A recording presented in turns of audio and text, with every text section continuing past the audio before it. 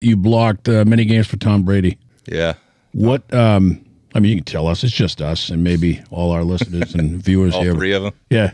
What, what was Tom Brady like? Playing with Tom was awesome. He was just a cool customer out there. He's never rattled.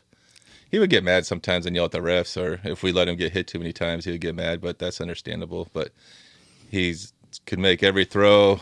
He's just a winner. Like, Yeah. well, you see how many games the freaking guys won. Uh, he's just he was always prepared, always working hard, and you, he was a great teammate. If you asked him for a favor, he did it, and you figure the guy that played that long and was getting pulled in all kinds of directions to do things that he would say no, but he would hardly ever say no.